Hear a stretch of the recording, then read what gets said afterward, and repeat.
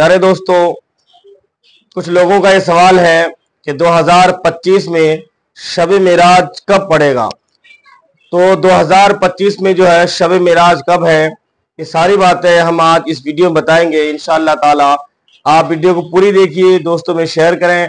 अगर पहली बार आप इसमें विज़िट कर रहे हैं तो इसको लाइक, शेयर, कमेंट के साथ साथ आप हमारे चैनल को सब्सक्राइब भी ज़रूर कर लें दोस्तों।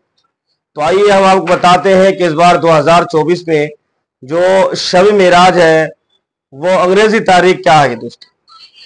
जहाँ तक मैंने कैलेंडरों को देखा है जनतरियों को देखा, देखने के बाद पता चला कि इस बार 2025 में जो शब मेराज है, वो जो है 28 जनवरी 2025 को है। यानी 28 जनवरी को शब मेराज है दोस्तों।